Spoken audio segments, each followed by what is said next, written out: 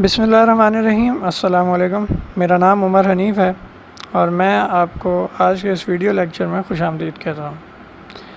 आज का हमारा मौजू है काइनेमेटिक्स जो I G C S E physics का यूनिट नंबर टू लगता है और इसके बेसिक तीन कंटेंट्स हैं, यानी इसके जो सब डिवीज़न है टॉपिक्स के, वो तीन हैं और वो हैं पहला है स्पीड वेलोसिटी एंड एक्सेलरेशन दूसरा है ग्राफिकल एनालिसिस ऑफ़ मोशन और तीसरा पार्ट है फ्री फॉल मोशन हमारी कोशिश है कि हम इसी एक लेक्चर के अंदर इन तमाम पार्ट्स को कवर अप करें।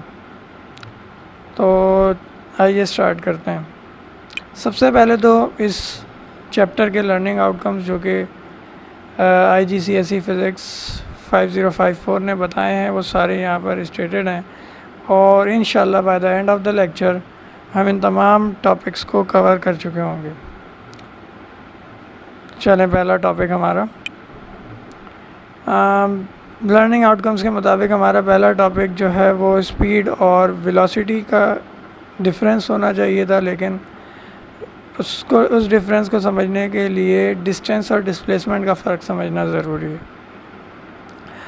तो भाई डिस्टेंस क्या होता है और डिस्प्लेसमेंट क्या होता है? आपके सामने ये जो एक डायग्राम बनी हुई है, आप इस डायग्राम की मदद से इस चीज़ को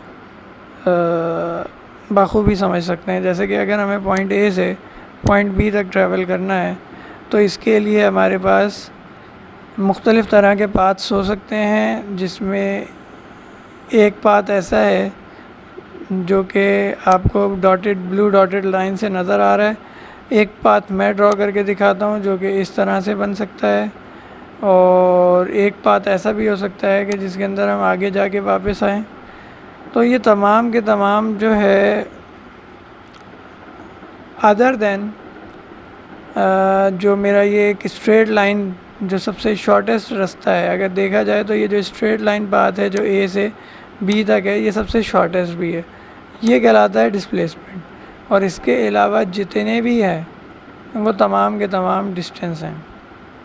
यानी कि अब यहाँ पे आप डिफरेंस का जो एक टेबल बना हुआ है, इससे भी इस चीज़ को आप ऑब्ज़र्व कर सकते हैं कि डिस्टेंस में बताया गया है कि ये एक्चुअल पाथ अब जैसे एक्चुअल का लफ्ज़ यहाँ पर यूज़ किया गया है, इसकी वजह ये है कि भाई, अगर बिलफर्ज मुझे अपने घर से सदर तक जाना है तो मुझे उधर सदर तक जाने के लिए मुझे, मैं कोई ऐसा नहीं होगा कि बिल्कुल स्ट्रेट लाइन डिस्टेंस कवर करूँगा। मुझे मुख्तलिफ़ कट्स लेने होंगे और कहीं पे स्पीड तेज़ होगी, कहीं पे हल्की होगी तो मुख्तलिफ़ तरीके के टर्निंग्स ले लेके मैं पहुँचूँगा। तो ऐसे रास्ते को हम डिस्टेंस ही कह सकते हैं और यही हमारा एक्चुअल बात होता है। लेकिन डिस्प्लेसमेंट जो है वो बिल्कुल स्ट्रेट लाइन और शॉर्टेस्ट पाथ होता है। इनिशियल और फाइनल पोजीशन के दरमियान में ये ऐसे है जैसे आपने एक रस्सी लेके स्ट्रेट शुरुआत और आखिरी पोजीशन, यानी इनिशियल और फाइनल पोजीशन में आप एक रस्सी बाँध दें बिल्कुल स्ट्रेट तो वो, उसका जो फासला होगा वो डिस्प्लेसमेंट होगी। तो अब फ़र्क ये है कि भाई डिस्टेंस की कोई डायरेक्शन नहीं है, इसीलिए डिस्टेंस स्केलर क्वांटिटी है, जबकि डिस्प्लेसमेंट एक वेक्टर क्वांटिटी है। डिस्टेंस कभी भी नेगेटिव या ज़ीरो नहीं होता, ये हमेशा पॉजिटिव होता है। क्योंकि आप जितना भी फासला तय करते जाते हो, वो सब एडअप होता जाता है। लेकिन डिस्प्लेसमेंट जो है, वो नेगेटिव भी होती है पॉजिटिव भी होती है और ज़ीरो भी होती है। कैसे? कि भाई हम अगर डिस्प्लेसमेंट की ज़बान में बात करें तो हम ये जो एक्सिस आग, आगे जाकर, ये जो वापस आए हैं ना, ये जो वापस आना है, ये नेगेटिव पाथ कहलाएगा।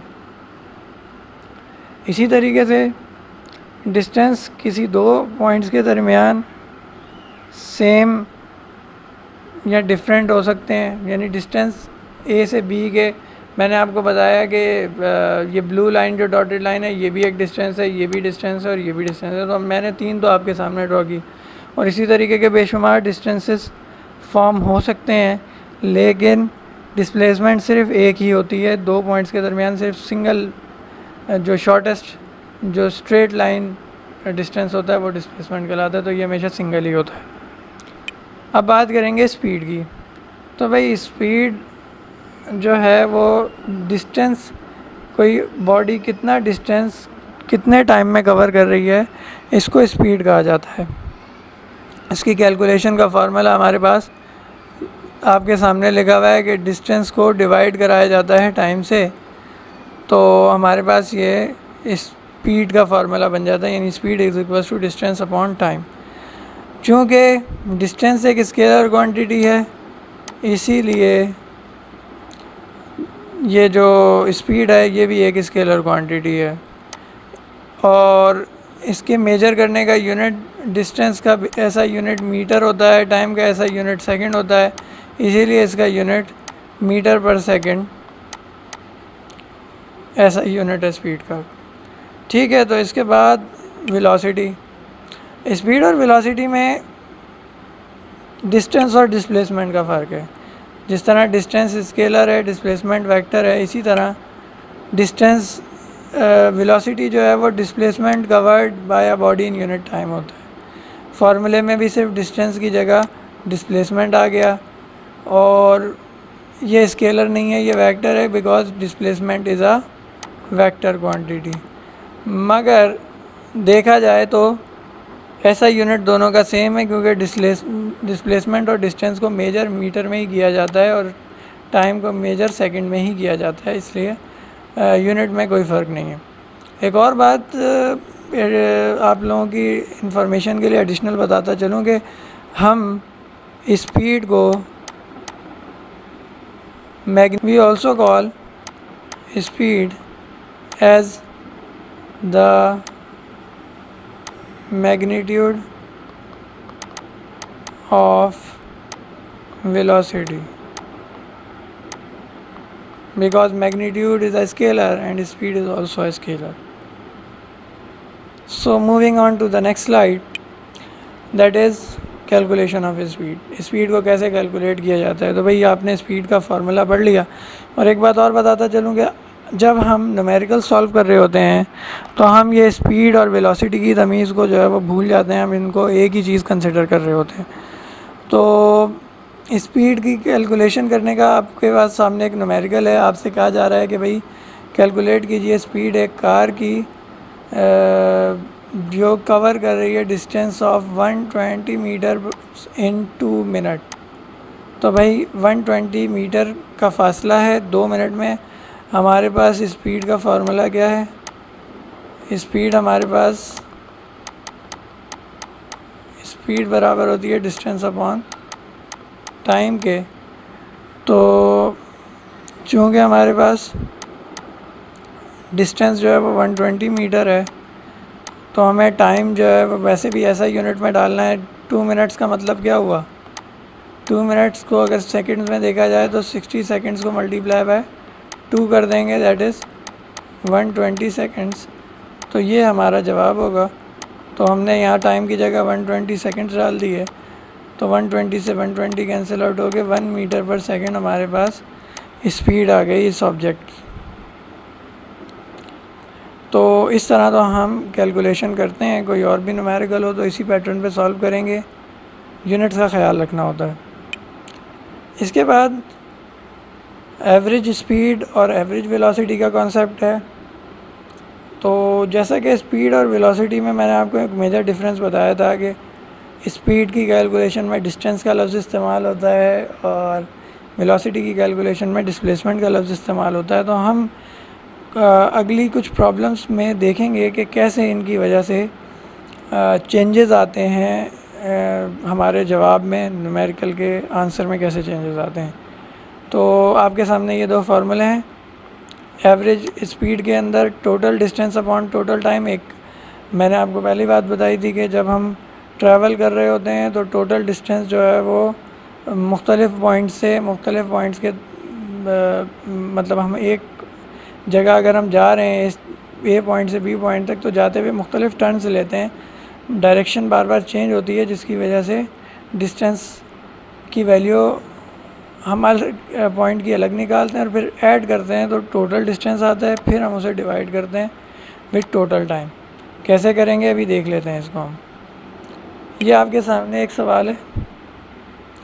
कह रहे हैं man walk seven kilometres in two hours and two kilometres in one hours in the same direction. एक ही डायरेक्शन में पहले वो सात किलोमीटर चल रहा है और इस सात किलोमीटर के चलने में उसको टोटल टाइम लग रहा है टू आवर्स तो seven kilometres in two hours और फिर अगले जो दो किलोमीटर ये चला, ये अगले दो किलोमीटर एक घंटे में रन किया, उसने वॉक किया। तो भाई, इसकी कैलकुलेशंस कैसे हो? आपसे कह रहे हैं कि भाई बताइए what is the man's average speed average speed बतानी है। तो कैसे निकालेंगे? आपने एवरेज स्पीड का फार्मूला पढ़ा था। कि एवरेज स्पीड बराबर होती है total distance upon total time के। तो टोटल डिस्टेंस इसका अगर हम निकालें तो पहले सात किलोमीटर ट्रैवल किया बाद में, दो किलोमीटर ट्रैवल किया तो टोटल हो गया सेवन प्लस टू और पहले इसको सात किलोमीटर जो ट्रैवल किया था वो दो घंटे में किया था और बाद में एक घंटा तो टोटल इसने one plus two three hours use किए. तो इसको सॉल्व कर लें, हमारे पास आंसर आ जाएगा थ्री और किलोमीटर्स अपॉन आवर्स तो थ्री किलोमीटर्स पर आवर इसकी एवरेज स्पीड आई है। और अगर हम कैलकुलेट करें इसकी एवरेज वेलोसिटी तो एवरेज वेलोसिटी और एवरेज स्पीड में फ़र्क क्या है? कि यहाँ पे जहाँ टोटल डिस्टेंस है, वहाँ पर टोटल डिस्प्लेसमेंट इस्तेमाल होगी।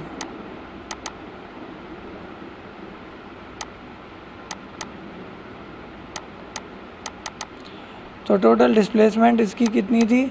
अगेन चूँकि सिंगल डायरेक्शन में अगर मैं ए से सी तक इसका टोटल जो डिस्टेंस चेक करूँ तो वो स्ट्रेट लाइन ही डिस्टेंस है। और स्ट्रेट लाइन डिस्टेंस निकालने का तरीका यही होगा कि हम सेवन प्लस टू कर देंगे।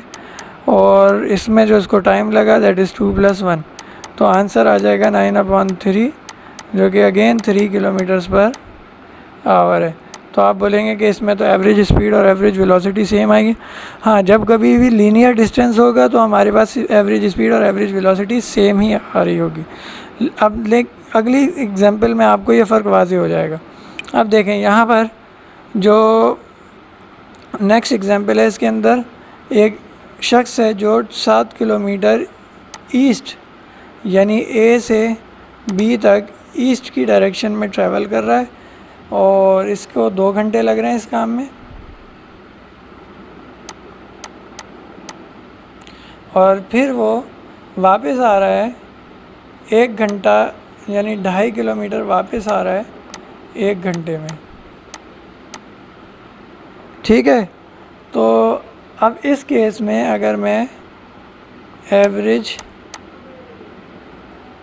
स्पीड की बात करूँगा तो भाई वो कैसे निकालेंगे? उसका तरीक़ेकार तो सेम ही हो जाएगा कि जाने के सात किलोमीटर और वापसी के 2.5 किलोमीटर सब ऐड होकर और डिवीज़न किससे हो जाएगा?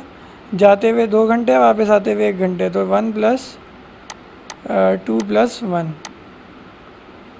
hours तो इस तरह से हमारे पास इसका आंसर आ जाएगा 9.5 पॉइंट फाइव अपॉन थ्री अब इसकी कैलकुलेशन जब करेंगे तो 3.1 किलोमीटर्स पर आवर आ जाएगा। लेकिन अगर हम एवरेज वेलोसिटी की बात करें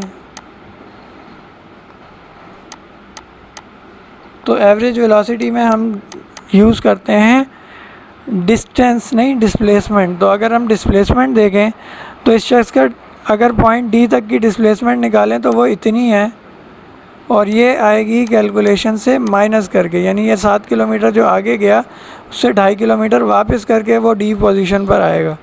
तो इसके अंदर आंसर में डिफरेंस आ जाएगा क्योंकि सेवन में से माइनस कर देंगे टू पॉइंट फाइव और फिर टाइम तो उतना ही लगा जितना उसको जाकर वापस आने में लगा दैट इज़ थ्री आवर्स तो अब जो हमारे पास आंसर आएगा वो four point five upon three से आएगा।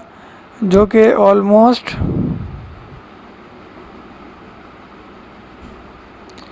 one point five kilometre per hour होगा।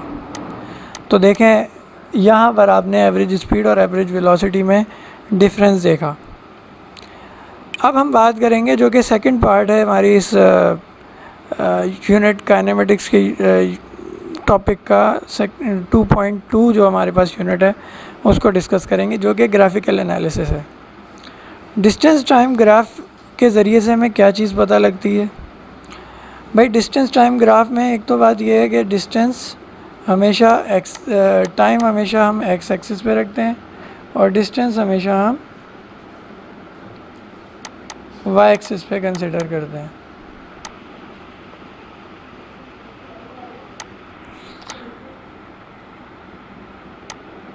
तो डिस्टेंस और टाइम के ग्राफ से हम मुख्तलिफ़ मोशंस के बारे में बता सकते हैं कि किस वक्त कोई बॉडी किस तरीके के मोशन से ट्रैवल कर रही है, किस तरीके का मोशन उसके अंदर पाया जाता है। अब अगर डिस्टेंस टाइम ग्राफ की बात की जाए डिस्टेंस टाइम और डिस्प्लेसमेंट टाइम में थोड़ा सा फ़र्क है और वो फ़र्क भी मैं आपको बता दूँगा कि क्या होता है, लेकिन यूजुअली हम इनको एक ही चीज़ कंसिडर कर रहे होते हैं। चलें टॉपिक की तरफ़ बढ़ते हैं। यहाँ पर डिस्टेंस टाइम ग्राफ आपके सामने कुछ प्रेजेंट किए गए हैं और इनमें हमें ये देखकर बताना है कि किसमें किस तरीके का मोशन चल रहा है कौन सी बॉडी इस वक्त आ, किस तरह से ट्रैवल कर रही है। तो भाई सबसे पहले जो मोशन ए है इसको डिस्कस कर लें। यहाँ पर अगर देखा जाए तो ग्राफ की जो ये स्ट्रेट लाइन है ये रिप्रेजेंट कर रही है कि टाइम तो गुज़र रहा है मुसलसल, मगर डिस्टेंस यानी कि जो पोजीशन है ऑब्जेक्ट की, वो चेंज नहीं हो रही। वो उसी जगह पर मौजूद है। तो इसका मतलब ये हुआ कि अगर कोई ऑब्जेक्ट अगर अपनी पोजीशन चेंज नहीं कर रहा है और टाइम आगे बढ़े जा रहा है तो इसका मतलब वो बॉडी क्या है? एट रेस्ट है। तो इसका मतलब ये हुआ कि जब भी कभी आप एक हॉरिजॉन्टल लाइन जो कि एक्स एक्सिस के पैरेलल होगी डिस्टेंस टाइम ग्राफ में देखेंगे तो आप कहेंगे कि ये ऑब्जेक्ट जो है वो एट रेस्ट है। उसके बाद दूसरी, अगर हम बॉडी को देखें, जो कि ट्रैवल कर रही है और यहाँ पर भी एक स्ट्रेट लाइन है, मगर ये जो स्ट्रेट लाइन है, ये स्ट्रेट लाइन इंक्लाइन हुई भी है, ऊपर की तरफ़ इसका ग्रेडियंट है। जब किसी लाइन का ग्रेडियंट ऊपर की तरफ़ होता है तो ये इसका फासला अपनी पोजीशन से स्टार्टिंग पोजीशन से मुसलसल बढ़ रहा है। जैसे स्टार्ट यहाँ से हुई थी और अब ये यहाँ पर पहुँच गई है तो इसका जो स्टार्टिंग पोजीशन से फासला बढ़ रहा है, ये रिप्रेजेंट कर रहा है कि ये बॉडी कुछ फासला तय कर रही है विद रिस्पेक्ट टू टाइम इसका मतलब और ये जो फासला है, ये मुसलसल एक ही रफ्तार से बढ़ रहा है, जिसकी वजह से इसकी लाइन स्ट्रेट बन रही है। इसका मतलब ये जो मूव कर रही है एट कांस्टेंट स्पीड मूव कर रही है ये। ये ऑब्जेक्ट कांस्टेंट स्पीड से मूव कर रहा है। इसके बाद हम सी को देखें तो ये जो सी के अंदर मोशन रिप्रेजेंट किया जा रहा है, इसके अंदर डिस्टेंस कम होता जा रहा है, जैसे जैसे टाइम आगे बढ़ रहा है डिस्टेंस कम हो रहा है। टाइम आगे बढ़ रहा है डिस्टेंस कम हो रहा है। ऐसी सिचुएशन में को हम स्पीड तो कह सकते हैं, लेकिन हम इसके साथ साथ एक टर्म नेगेटिव वेलोसिटी की भी इस्तेमाल कर सकते हैं, क्योंकि इसकी, इसके अंदर फासला कम हो रहा है। और मैंने आपको बताया था कि डिस्टेंस को तो फ़र्क नहीं पड़ता डिस्प्लेसमेंट को फ़र्क पड़ता है। डिस्प्लेसमेंट अगर आप मेन पोजीशन की तरफ़ आ रहे हो, जहाँ से आपने फासला शुरू किया था तो वो वेलोसिटी तो डिस्प्लेसमेंट नेगेटिव हो जाती है। डिस्प्लेसमेंट नेगेटिव है तो इसीलिए इसकी वेलोसिटी भी नेगेटिव है, मगर चूँकि स्ट्रेट लाइन है तो नेगेटिव वेलोसिटी के साथ साथ ये कांस्टेंट भी है। इसके बाद हम बात करेंगे नॉन यूनिफॉर्म वेलोसिटी यानी कांस्टेंट वेलोसिटी को हम यूनिफॉर्म भी कहते हैं। और नॉन यूनिफॉर्म वेलोसिटी जो कि वेरिएबल वेलोसिटी भी कहलाती है। ये जो आपको ग्राफ नज़र आ रहा है, इसके अंदर आपको नज़र आ रहा होगा कि भाई देखें, शुरुआत में जो चेंज ऑफ़ डिस्टेंस है, वो कम है और आहिस्ता आहिस्ता डिस्टेंस का चेंज अगर हम सेम इंटरवल पे ही देखें तो बढ़ता जा रहा है। यानी अगर हम टाइम का इंटरवल सेम रखें, हर एक एक मिनट बाद या दो दो मिनट बाद हम उस टाइम वर्सेस डिस्टेंस को ऑब्ज़र्व करें तो हमें नज़र आएगा कि ये जो गैप है डिस्टेंस का ये आहिस्ता आहिस्ता बढ़ता चले जा रहा है। इसका मतलब ये है कि वेलोसिटी जो है वो इंक्रीज़ हो रही है और वेलोसिटी जो है वो कांस्टेंट नहीं है। तो इंक्रीजिंग वेलोसिटी है इसकी और नॉन यूनिफॉर्म है।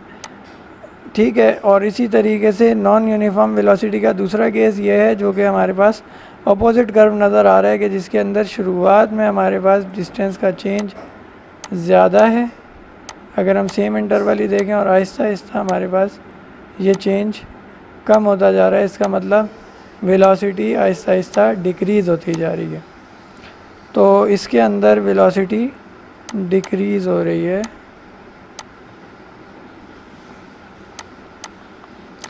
और यहाँ पर एक वेलोसिटी का इंक्रीज़ तो दिखा है, मगर ज़्यादा वेलोसिटी इंक्रीज़ नहीं हो रही। कांस्टेंट वेलोसिटी है, मगर वेलोसिटी की इंक्रीमेंट बहुत कम है। यानी कि ये जो ग्राफ है, ये रिप्रेजेंट कर रहा है स्लो स्पीड को। कोई भी ऑब्जेक्ट जो स्लो स्पीड से ट्रैवल कर रहा हो तो उसका ग्राफ कुछ इस तरीके का प्लॉट होगा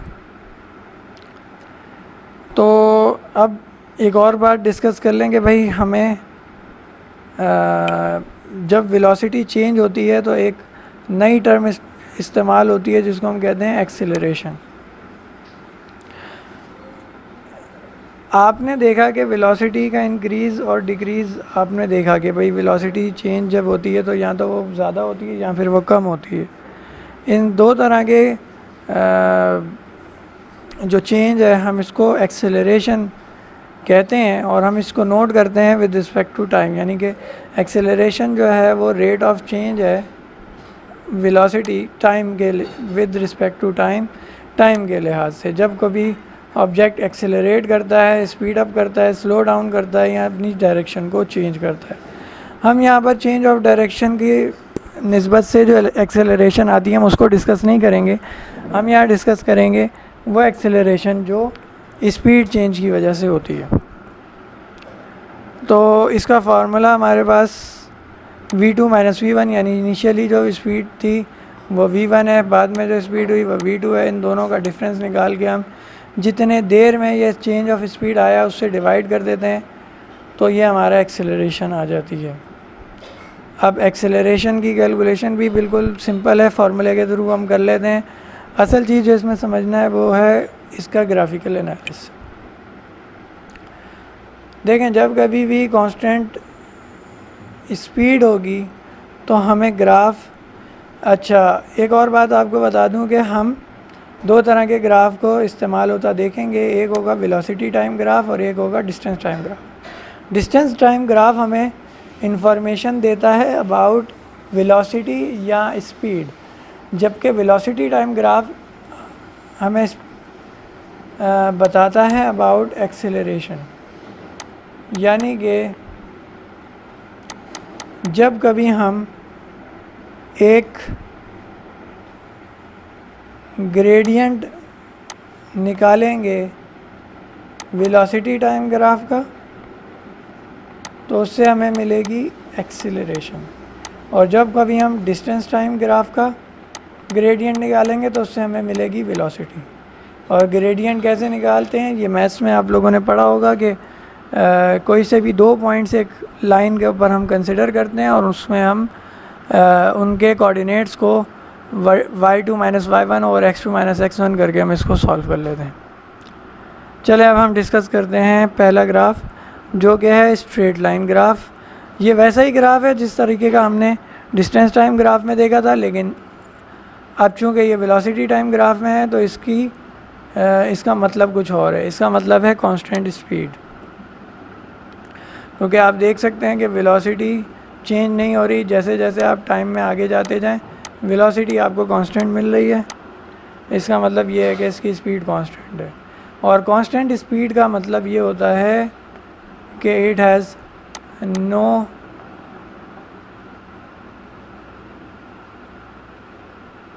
एक्सेलरेशन और ज़ीरो एक्सेलरेशन अब अगला जो हमारे पास इसके अंदर है, वो यूनिफॉर्म एक्सेलरेशन का है, कि जिसके अंदर आपको एक इक्वल इंटरवल ऑफ़ टाइम पे इक्वल इंक्रीमेंट इन वेलोसिटी नज़र आ रहा होगा। तो जब ऐसा होता है तो स्ट्रेट लाइन बनती है। तो ये रिप्रेजेंट कर रहा है यूनिफॉर्म एक्सेलरेशन को। अब नॉन यूनिफॉर्म में आपको कर्व पाथ्स नज़र आएँगे, और इन कर्व लाइंस के अंदर जब स्पीड जब जो ग्रेडियंट है, वो आपको लाइन का बढ़ता हुआ नज़र आ रहा है। तो आप समझ जाएँगे कि ये यूनिफॉर्म नॉन यूनिफॉर्म एक्सेलरेशन तो है, मगर इसके अंदर एक्सेलरेशन बढ़ रही है। यानी स्पीड बढ़ रही है। और जब कभी आपको इसका पाथ जो है, वो इसकी स्टीप डाउनवर्ड नज़र आ रही हो तो आप समझ जाएँगे कि इसके अंदर एक्सेलरेशन नेगेटिव है, और नेगेटिव एक्सेलरेशन को हम रिटार्डेशन भी कहते हैं। तो ये तो था graphical analysis of velocity time graph उम्मीद है आपको समझ में आया होगा। अब हम नेक्स्ट टॉपिक की तरफ़ मूव करेंगे। अच्छा यहाँ पर एक, मैंने एक सवाल आपसे कहा है कि velocity time graph stationary body का किस तरीके का नज़र आएगा? यानी कि आपने देखा कि एक ऑब्जेक्ट है जो कांस्टेंट स्पीड से मूव कर रहा है तो उसका ग्राफ आपने देखा कि इस तरीके का था। तो अगर कोई ऑब्जेक्ट है जो एट रेस्ट है स्टेशनरी बॉडी का मतलब है रेस्ट पर तो उसका ग्राफ किस तरह का होगा? तो आप यहाँ पर दो मिनट के लिए वीडियो को पॉज करके सोचें गैस करें और फिर आप इस वीडियो को आगे बढ़ाएँ। मैं आप लोगों को आगे बताना शुरू कर रहा हूँ। तो भाई, ये है हमारे पास ऐसा ग्राफ जिसमें बॉडी रेस्ट पर होगी। क्योंकि जब वो रेस्ट पर होगी तो उसमें कोई भी स्पीड नहीं होगी और ज़ीरो स्पीड पर थ्रू आउट आपका time throughout time zero speed पर वो बॉडी नज़र आएगी। तो ये है बॉडी एट रेस्ट अब हम मूव करेंगे लास्ट टॉपिक की तरफ़, जो कि है acceleration of free falling object free falling object कौन से होते हैं जिनको हवा में ऐसे ही, यानी किसी भी एक हाइट से, एक क्लिफ से ले जाकर छोड़ दिया जाए और वो ऑब्जेक्ट के साथ कोई भी आ, पर या कोई ऐसी चीज़ नहीं लगी हुई जो उसको आ, फ्री फॉल से रोके। वो ओपन बग़ैर किसी आ, मशीन के वो नीचे गिर रहा है। बग़ैर किसी असिस्टेंस के वो नीचे गिर रहा है। तो ऐसे ऑब्जेक्ट को हम फ्री फॉलिंग ऑब्जेक्ट कहते हैं।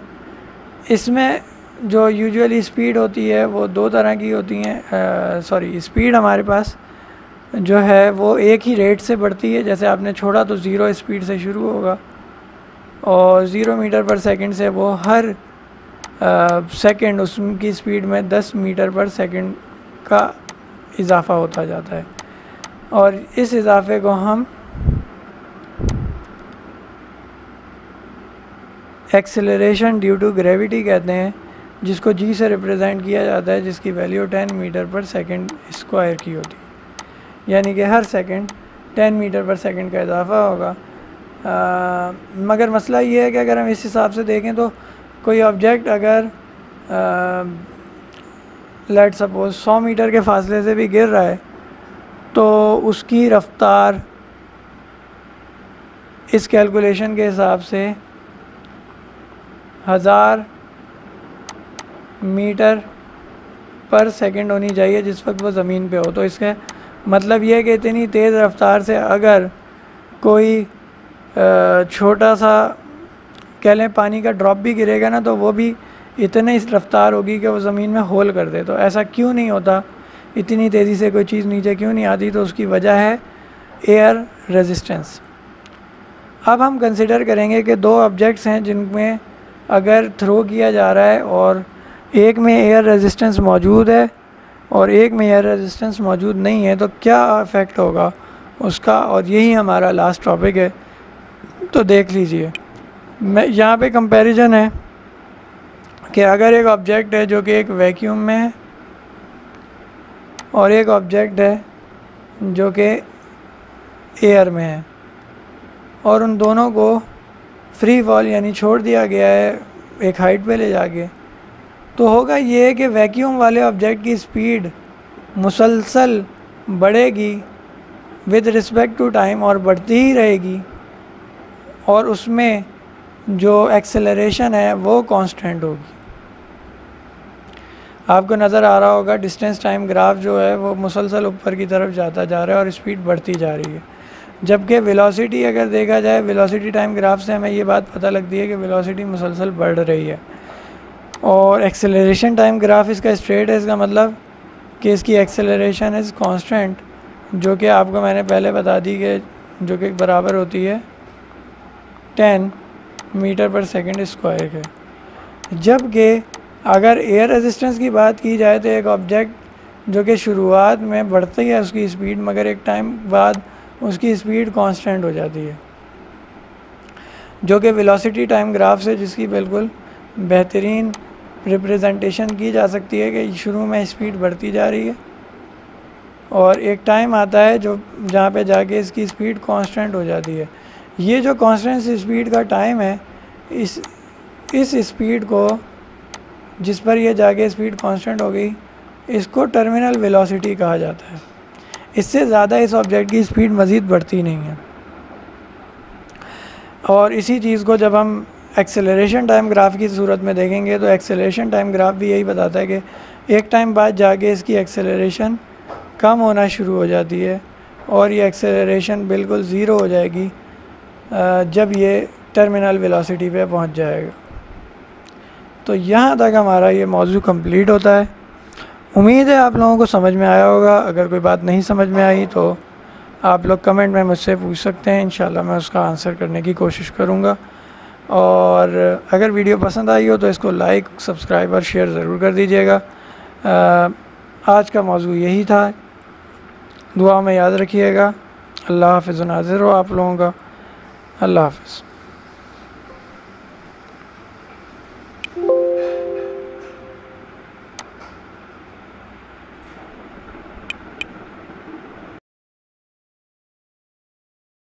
भी कहते हैं।